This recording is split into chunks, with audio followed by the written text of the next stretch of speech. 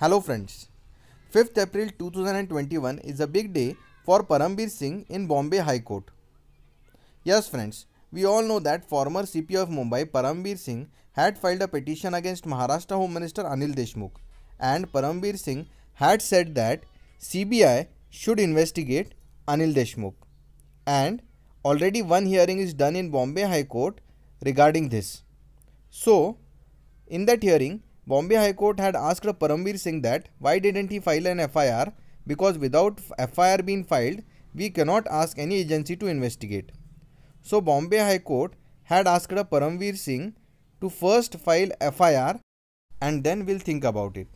And the final hearing will be done regarding this and Bombay High Court will give its final decision on 5th April 2021 which means we will get to know that CBI will investigate Anil Deshmukh or not. So it is a very important difference and if Bombay High Court gives instructions for CBI then many big revelations will be done. So friends, as soon as I get more information regarding this, I shall let you know. Till then, stay connected for more updates. Thank you.